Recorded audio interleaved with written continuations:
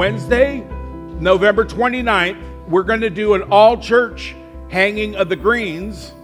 We're doing it on a different day this year. We're really changing things up. And I know as Methodists, we don't like to change things up. Six o'clock, and uh, we'll have pizza. And then the whole crew will come down and decorate down here. And then the whole crew will go down and decorate the sanctuary. So we're all going to do it together. We're going to be uh, uh, getting the church ready, and that's on November 29th. And, uh, and 6 o'clock begins with pizza, and it's free.